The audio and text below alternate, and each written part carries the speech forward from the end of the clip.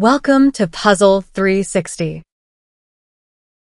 Total questions 30. You have 10 seconds for each question.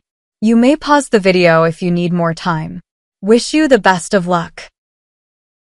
Let's begin.